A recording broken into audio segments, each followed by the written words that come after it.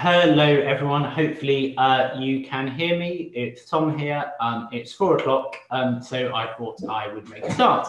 Um, I hope you've all had a good week and that uh, you managed to have a bit of a break um, over half term last week. Um, if you didn't join us, uh, it's nice to see a few more people here today. Um, this will be the last SSAT policy uh, Zoom update um, in June, uh, which I'll talk about um, at the end. So I'm really going to focus on are the final checks um, and um, things to consider in terms of uh, results this summer, but also looking ahead um, to the autumn series. Other colleagues will be picking up issues about school reopenings uh, later this month uh, for secondaries on the 15th of June, and of course what's already happening in primaries um, at the moment, um, but that will be picked up um, uh, elsewhere. Um, so um, without further ado, let's um, have a think about uh, the final checks that need to be in place uh, for the submissions uh, in the next couple of weeks. I know obviously all of you will be working on this at the moment. So um, obviously you'll all be doing your final internal moderation and quality assurance. And I've had lots of questions about what this should look like. And the simple answer is there is no one fixed way. Um, and essentially, um, you know, use your, uh, your current quality assurance um, processes as an SLT to, um, uh, to ensure that you as senior leaders are happy that the grades and rankings that you are submitted are rigorous and accurate um, you'll be making those final ranking decisions. And I think particularly that's really important for those large subjects, you know, sort of GCSE English and Maths, where you might have, a, a, you know, 70 odd students who are all on the same grade. Trying to get that ranking down is going to be really difficult, and we appreciate that. Similarly, uh, for EPQ um, at, at, A level, where you might have lots of bunching um, around the seven mark, and Ofqual are aware of those um, of those subjects. Um, you might have missed this, but Ofqual have now said that for very, very large cohorts, um, you can bunch students within a single rank. So as you know, you have to have, um, uh, most schools will have to have uh, uh, each candidate as a separate rank. That's not the same for very large cohorts, but we're only talking about cohorts um, of 500 or more in any one qualification. So it really won't um, uh, apply to many schools or to many sixth forms uh, at all. Um, what I should say, sorry, I should have said it uh, earlier, um, if you do have any questions as we go through today, um, please do write them in the chat function of Zoom and my colleague uh, Mike, as ever, will pick those up um, and, and, uh, and come in at, at, certain points or pick them up at the end. So um, having made your final rank decisions, really, really important to check the candidates or students at the top and the bottom of each of those ranks, because again, they are the ones that are most likely to see their um, centre assessed grades changed through standardisation. So really, really important uh, to check those people and check you're happy with the top and bottom of the rank. The middle of the rank perhaps matters slightly less. Um, I've had lots of questions, um, particularly um, uh, since the start of this week, um, where many of you are now about to submit your data. Um, departments have been through this process and you as senior teams have got the data. Um, and what um, SLTs are asking me is, well, we're looking at the data and it doesn't look like our previous years. It doesn't look like the transition matrices suggest it should. I think it's a really useful activity to do to check that data. Um, but don't try and adjust those grades to make it a perfect fit. Ofqual have already said they expect some fluctuation. You know, no school gets the exact same results every year. And remember that your previous results are just one part of the standardization formula, and we don't yet have that formula, and it will differ from subject to subject. Uh, and Ofqual acknowledge that in smaller subjects, results fluctuate uh, more than others. So if you haven't done yet, you know, do have a look at what your heads of department are telling you and see whether this looks like your previous years. However, uh, and we do differ from some other organizations here, and I know some organizations are saying to, to make it very uh, data-based. Um, ultimately, it's a sense check. And uh, we would be very um, uh, mindful of trying to adjust grades down purely based on historical data. We don't yet have those formulas. We don't have the transition matrices that they will use uh, in the final standardization formula. So um, use it as a guide. And as SLT, if you have a particular subject that seems to have shown a massive inflation, then certainly go back to them and ask what, what's happening as part of that quality assurance process. But certainly don't try and fit it perfectly to your, your previous results. At the same time, if you are expecting an inflation this year, so not an inflation, a, a, um, an improvement this year in terms of results, it is important to manage the expectations of heads of department and staff um, because, uh, of course, um, we do know that through standardization, you may see your, your grades adjusted, and I'll talk about that in a moment. In terms of submission, we know that different exam boards are using different systems, and you've been telling us that some are better than others. A particular exam board in particular, with a manual um, entry system we know is causing you uh, quite a lot of uh, stress. Um, but I suppose the, the key thing here is you know, check, check, and check again. Remember, once that data is submitted, um, there is no check the exam boards can do. They are just going on what you submit to them. And you know, one in particular is very, very clunky. So whoever is submitting that data, you know, really make sure that they are um, triple checking that that, that that is correct. Um, just a, a point that that's uh, a question that's been raised before. Hopefully, um, you've picked up on this um, through the, the listserv messages, uh, through the, the email forum messages. Um, that if you are entering um, students in the same subject into qualifications with different exam boards, you do just do one rank list and uh, one of the exam boards, the exam board who you have most entries with, will be the lead for that particular subject and they will have hopefully already been in touch with you to tell you they're the lead um, uh, exam board uh, and they will instruct you what to do, but it won't be through the normal process. So if, for example, you're doing GCSEs and IGCSEs in English, um, that is one rank list and the, the biggest exam board will have been in touch to tell you how to submit that. Um, and then, of course, private candidates, you know, sort of don't leave them to the last minute. They need to be included fully in your rank order as we um, discussed uh, last week and the week before, Ofqual have said that um, including private candidates in your rank order will not affect um, your, your on-roll students' grades. I still don't quite understand how it can't do that because, of course, if you're putting a, a private candidate as a number one, it's never be going to. So um, just some kind of final checks um, in these last two weeks before we submit grades before mid-June. Um, in terms of managing the expectations of staff, um, just a reminder, of course, that um, uh, all of the, the teacher assessed grades, the centre assessed grades, uh, and the rank order have to remain confidential at the moment. But of course, staff um, will be aware of them. And again, this really is a question I've been asked a lot over the last um, the last four days. Um, if you're looking at data and it looks different to your previous years, should you be adjusting it down? Uh, and what I will say is, if you're in that position, you're not alone. A lot of schools out there are in that position. If you are confident as a school, as a head teacher, as an SLT, that those grades you are providing are accurate, don't mark them down just because of the data. However, it's important to remind staff and heads of departments in particular that Ofqual said all schools should expect to see some adjustment. So at this point, be telling your heads of department if your grades are all marked down or up, that's not a reflection on your judgment. Ofqual has said that even with the most accurate judgment, they expect to see some adjustments. So um, it's not a reflection on their ability to assess, and Ofqual have already said that. Ultimately, this is out of your control.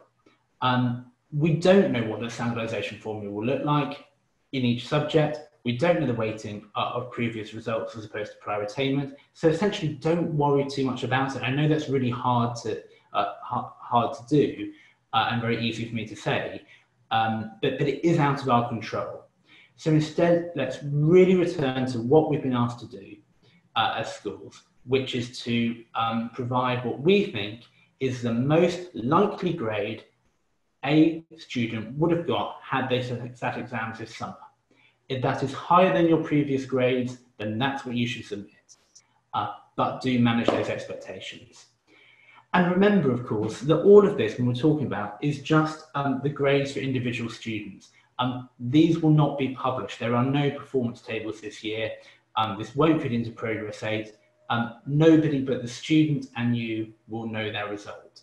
Um, so it's about doing what's right uh, for the student.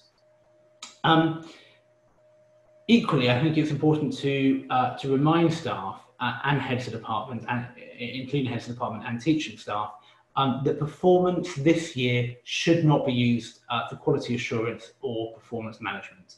Uh, that we can't use the results from this summer for performance management. And so again, heads of department shouldn't worry, overly worry about those results being marked down. And I think ultimately there will be some schools who win and lose. If you are if you are a school that has a department that was really predicting much better results this year with similar students because you've got a new head of department last year or uh, a change to the curriculum. Unfortunately, we know that even if you were predicting better results, those results might be marked down. And of course, there will be schools as well who um, were, were predicting to get um, uh, worse results this year, and they've almost been given a, um, bit of a get a jail free card this year. So um, there will be schools that win and lose. It's not a perfect system, um, you know, but we are living through a, global pandemic, and, and we need to acknowledge that.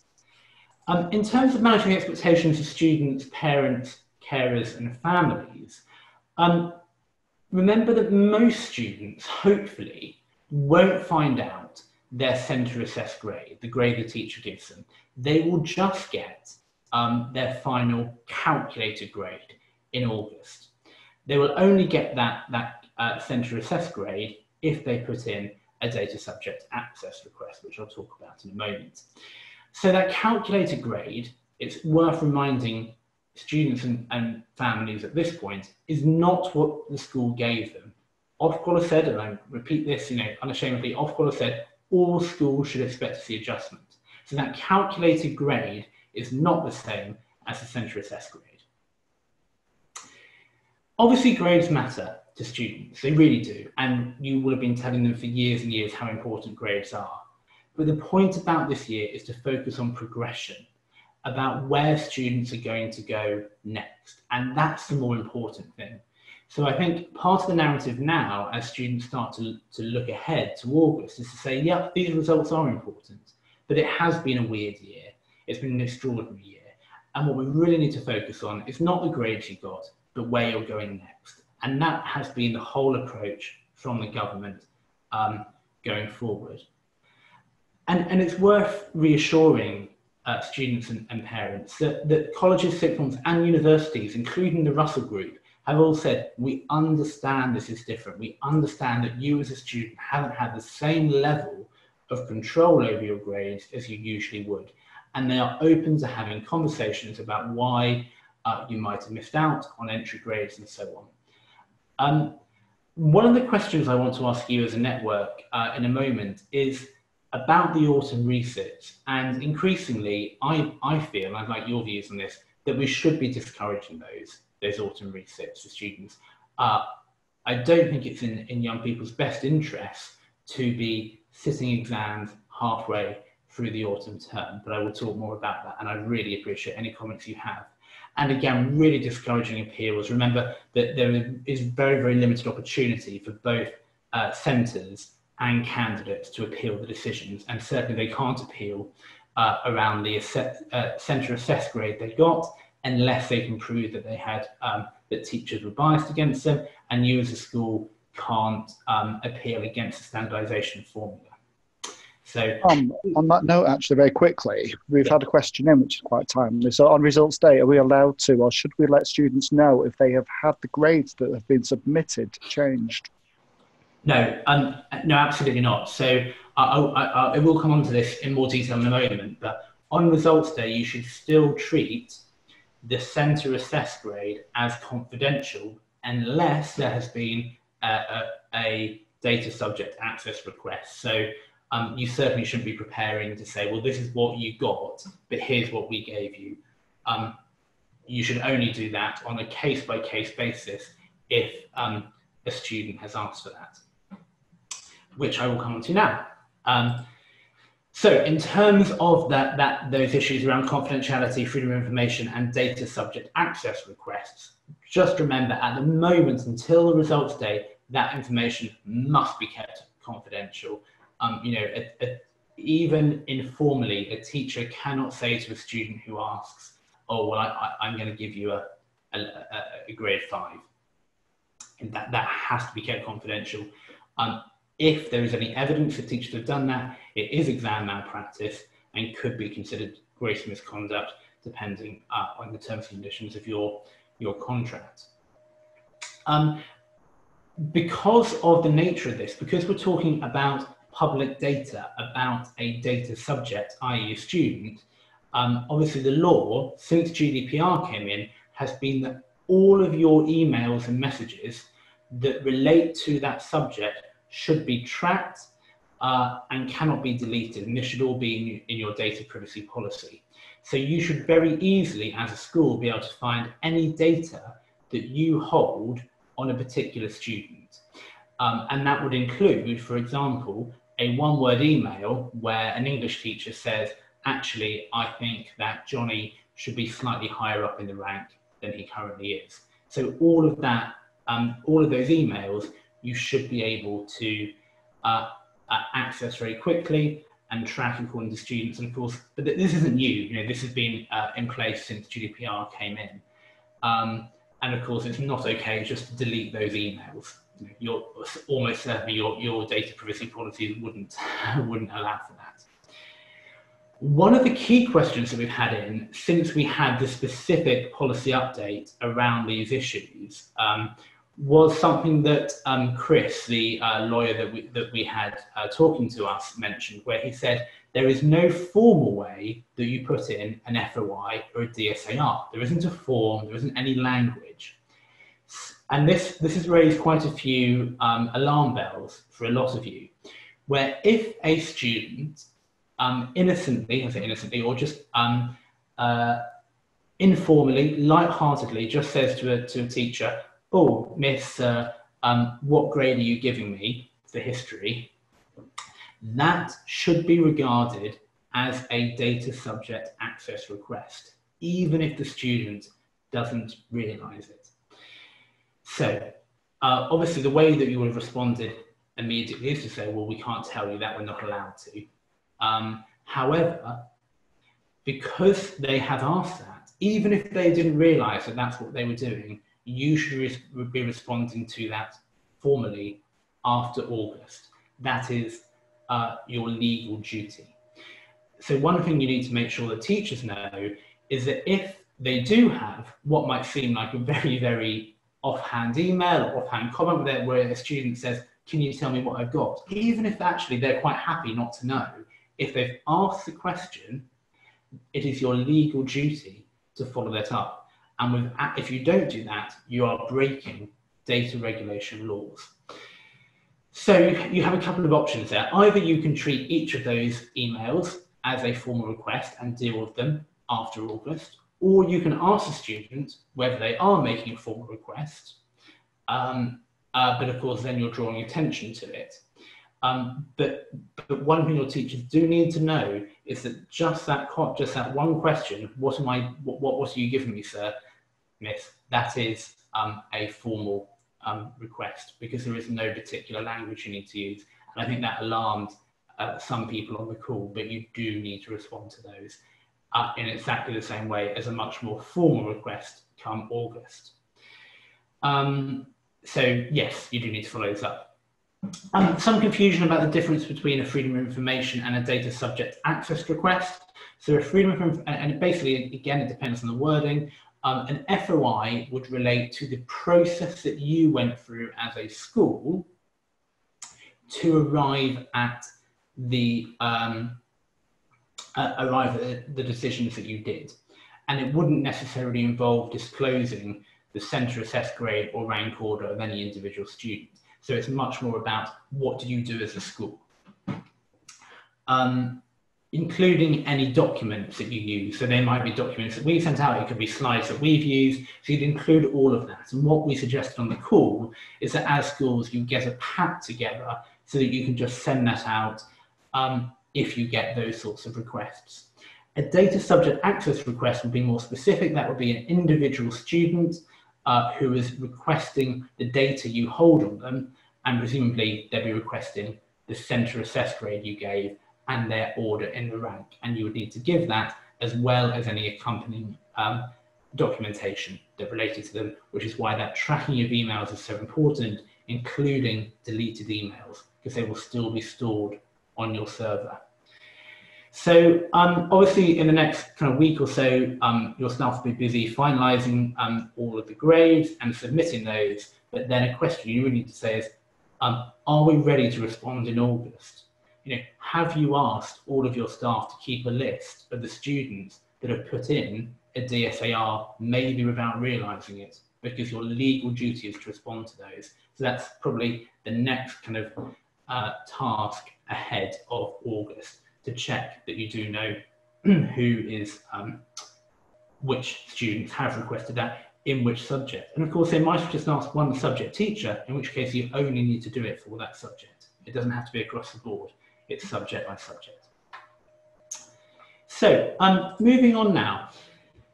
Obviously, we've got the current Ofqual consultation on the autumn series, um, and that closes on Monday, um, at the end of Monday, a just before midnight. Um, so if you do want to respond, please do.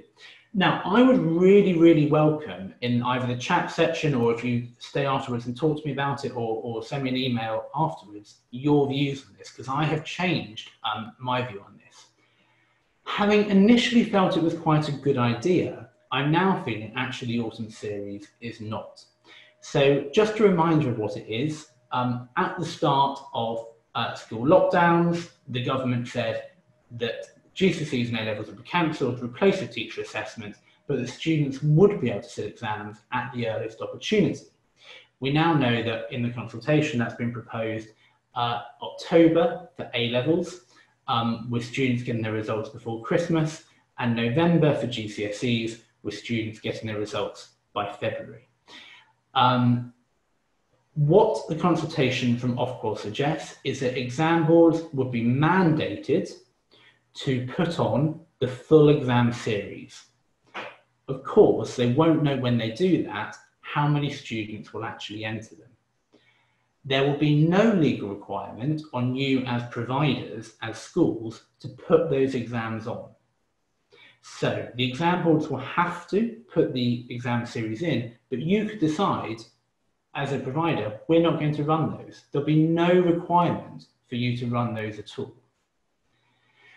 But if we're focused on the idea this summer of progression, where students are going to, does it actually matter? If a student doesn't get what they really, really wanted, but they can still go on to sixth form, to college, to university, does it really matter that they got a seven rather than the nine they wanted? how helpful would it be for that student to when they're when they're now you know fully immersed in their A level course in year 12 to um, sit GCSE history in November? Is that really a useful thing for them to be doing for their education? It might be.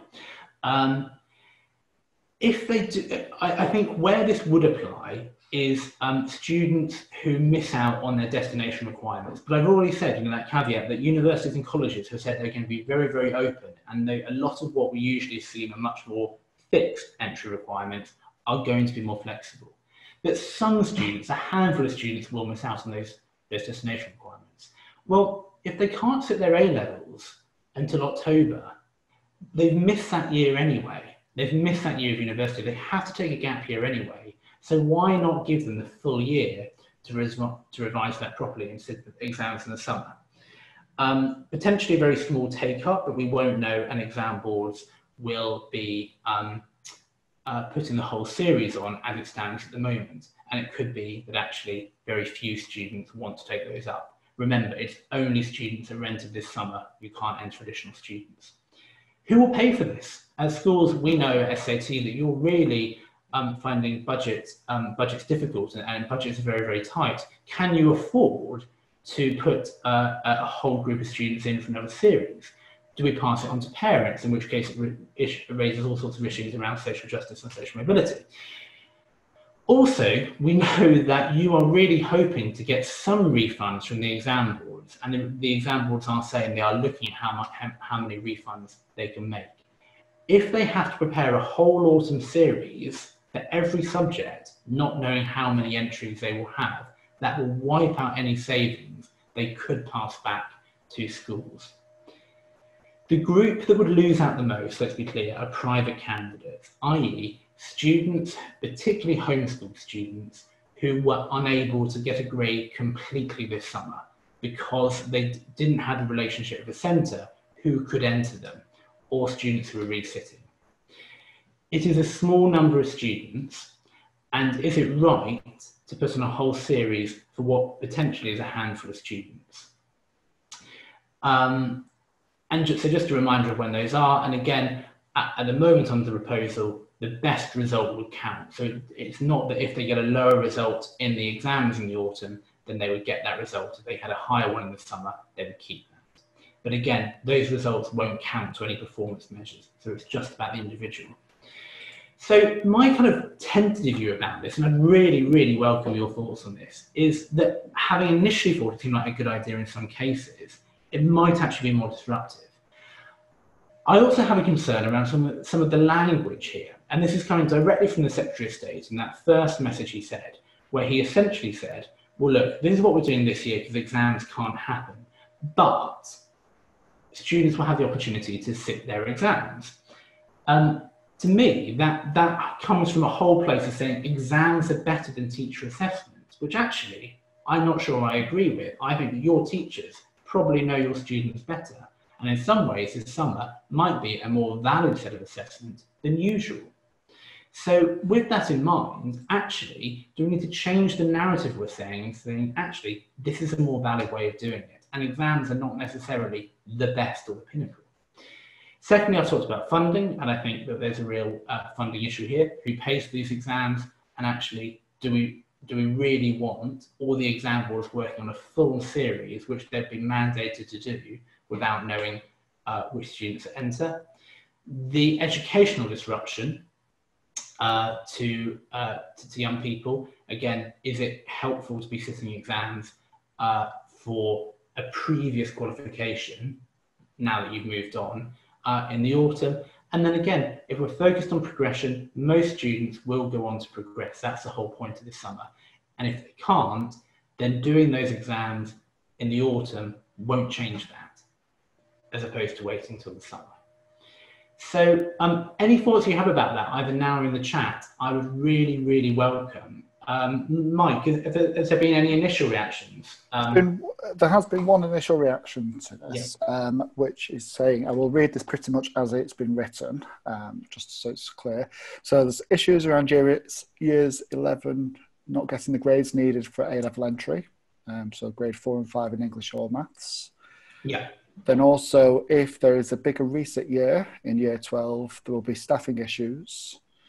And also, there's no guarantee that school will be back to normal in September. Well, well, quite, yeah, no, I agree with that. In terms of the um, the English and maths, um, what I should say is, I think in, absolutely, in terms of progression, the English and maths resits would would go ahead in November as usual. So I'm not so English and maths GCSE resits would would go will go ahead. Um, and of course, that's a funding requirement for post 16 um, in any case if, if students haven't got um, a grade four in, in both English and maths. So, yeah, com completely agree with that. But yeah, any more thoughts you have on that? As I said, um, we will be responding, but I want to respond uh, and, and best reflect the network. But as I said, my, my view of that has has changed over time. So any thoughts you have will be really, really gratefully received. Um, so finally, um, just looking, thinking about performance tables in 2021, which again um, is the next stage that we, we, we need to look at um, as an organization uh, on behalf of the network. As you know, no performance tables in 2020. At the moment, the Ofqual guidance says they will be published in 2021. Um, we are clear they shouldn't be. And I think that the um, the year 10s, the current year 10s and 12s are going to be the most effective year in terms of education. Assuming they do exams normally next summer, um, I think it would be very unfair uh, for performance tables uh, and performance measures to be published. Um, we almost know for certain the inequality gap is going to widen and therefore it will um, disadvantage schools with a larger disadvantaged cohort. Um, so we will be campaigning for them not to be published. Um, just a reminder, if they are, then any results this summer, or indeed if the autumn series goes ahead, won't count. So I think there are three key areas um, that might be of interest. So assuming that they do, do go ahead, and we hope they won't, the big concern is the GCSE English double weighting. Um, a lot of you have been in touch to say the model that you operate is to do um, English language or literature in year 10 so that you don't have um, a huge number of, of, English exams in year 11. Um, the DFE and Ofqual haven't said if um, you would still count for double weighting. The feeling, I think, is not. So essentially, if that was your curriculum model, you would take a double hit in 2021 because A, one of your, your buckets wouldn't count, but also you wouldn't get the double weighting uh, in Attainment 8 and Progress 8 for English. Another big one is the maths A level. Again, lots and lots of schools saying that you do, um, uh, for students who are going on to do further maths, that you do maths A level in, in year 12 and then further maths in year 13. And of course, um, those students typically do very well in A level maths and it would very much affect your, um, your progress measures and attainment measures uh, post 16. Um, interestingly, that's one that seems to have more traction from the government looking at it and saying actually um, that there's more possibility to, to, to, to allow math at A level specifically in year 12.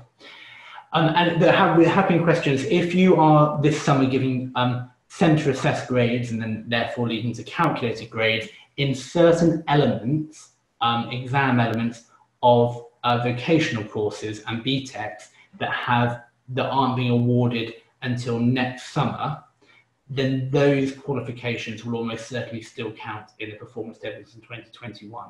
So even though part of that will have been through calculated grades, um, if the qualification was not due to be awarded until 2021, um, they will still count. Um, at that point, I will pause and see if anyone has any further questions or comments. Um, Mike, can I bring you in? Yep, there have been a few comments and questions coming in. So, um, just on the autumn series, actually, yep. who will be responsible for putting on the autumn exam series? Is it the centre that the students are currently at, or the one where they were?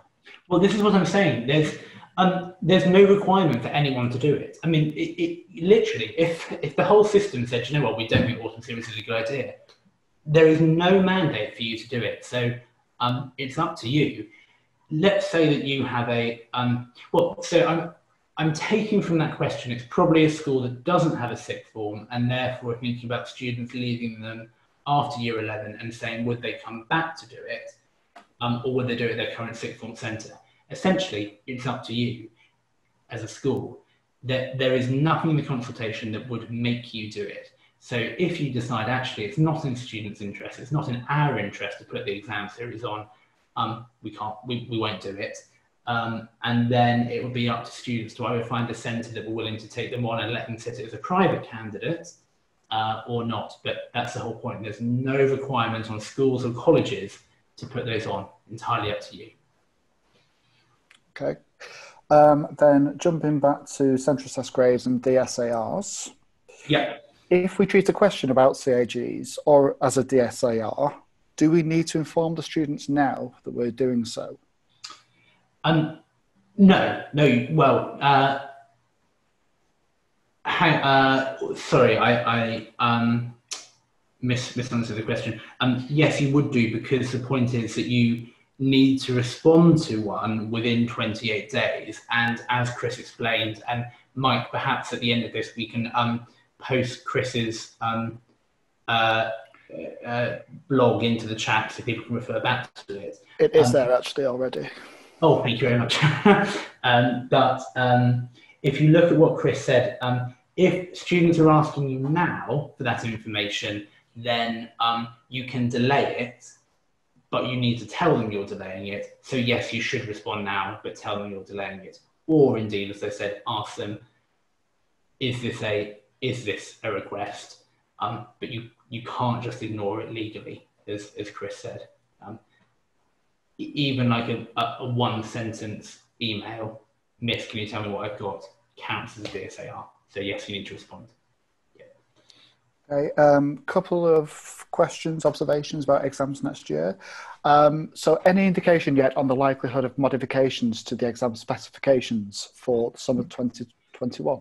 Yes, um, we, have got some indication. Um, again, it's just an indication. The general feeling is there won't be modification, uh, apart from in a few instances, uh, for example, the requirement to do a field trip for geography GCSE uh, and some practical elements of some of the science and um, technical subjects. But in terms of the content for the GCSEs and A levels um, and vocational subjects, uh, what what Ofqual have tentatively said is, and, and the exam boards have said is, they can't just remove part of the content from the from the syllabus um, because, of course, they encourage schools to teach the, the, the content in the best way they see fit. So they, they can't just take out the last fifth of their published material uh, from the exams because, of course, some schools might have started with that.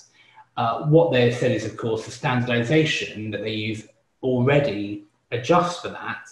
Um, and so um, uh, essentially, if everyone in the country, if every student in the country does less well because they've not been taught in the same way, they've missed up that part of their schooling, obviously all the grade boundaries would drop. What, of course, this will mean is uh, we already know that more advantage, uh, that, that, that the richer students are getting more online tuition, um, and there's been various studies that have shown that. So again, what that will do is just increase the disadvantage gap next year. But but that's the tentative view coming out from the exam.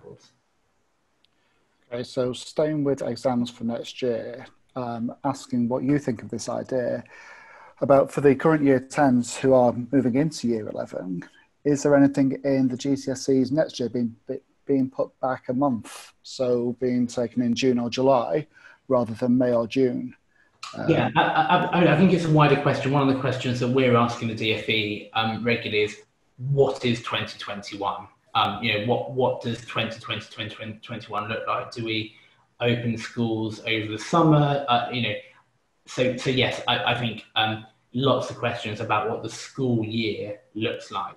Um, and of course, it, it might be very, very, it might change a lot depending on um, what happens, and it, and it might be different to different parts of the country. But yeah, I absolutely think it, it's a good idea to, to be flexible with that. Um, or indeed, if we if we find out this summer that actually um, there was very little adjustment needed across the system in terms of grades. We say actually maybe teacher assessment is a better way going forward, and it, and it raises a whole question about uh, assessment. Yeah. Okay, and the final question that we've had is um, if units for BTECs were due to be sat this summer, should the exam boards be accepting and taking these grades? Uh, yes, and, and, and they are, yeah. Um, so if if there's a specific question about that, if if, people could email me afterwards, but um, they are doing yeah. yeah. And that's everything up to date. Thank you. Um, thank you, Mike, as well. So um, if you do have any more questions, please do continue to, to post. Um, but um, what I will say is, um, as many of you know at SSAT, um, we have had staff on, on furlough. Obviously, we've been affected by the current situation, not being able to work with schools in the way that we usually do. Uh, and we've been doing that on a rota system. So some of you will have known that your relationship managers or, or members of the education team have been on furlough at different times. It's now uh, my turn to be on furlough. We're all doing it as a rota system. Uh, so it's um, so it's fair. So um, from next Wednesday, um, I will be furloughed. Uh, so these um, these policy updates will will stop then, but obviously it's quite a natural time anyway, um, as this, this process is coming to an end. As I said, we will pick up issues around school reopening and the scientific advice that comes out um, separately. Um, but really just to say, um, you know, over um, the last two months, I've really enjoyed uh, working very closely with the network uh, and um, uh, kind of getting an understanding of the, of the, issues that you're dealing with. Um, so, so thank you for that. Um, I, I, will be back in August uh, for results days when I'm sure a lot of these issues will come back uh, to the fore. Uh, but as I said before, you know, I think th this time is really, really difficult for teachers. Um, over the next uh, week and a half, you'll be making really tough decisions about whether or not you open your schools. And we know that the media and politicians um, have been very unkind about that, as I said um, two weeks ago. Um, but we know that you're doing an amazing job. So thank you on behalf of all of us at SSAT. Um, we love you. We think you're doing uh, fantastic work and you continue to do so um, on the front line. So thank you. If you do have any questions uh, between now and August, then please do email your relationship manager um, on RM team at ssatuk.co.uk. Uh, my colleague Angelina will be uh, managing the email forum, so you'll still get updates from SSAT. You just won't have these uh, weekly Zoom updates. So um, thank you to all of you. Um, thank you to Angelina, and thank you to Mike for being there each week to ask me your questions. Have a good rest of the day. Thank you.